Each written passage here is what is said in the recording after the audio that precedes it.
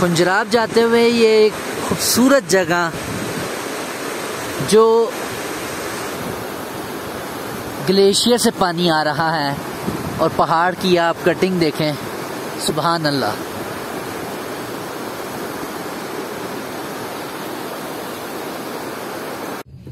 Khunjerab top जाते हुए driving बहुत एहतियात से करें और,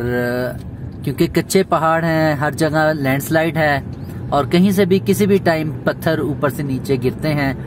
और गाड़ी पे भी लग सकते हैं, आपका नुकसान हो सकता है। तो कोशिश करें, एक तो ओवर ड्राइव ना करें ड्राइव नॉर्मल करें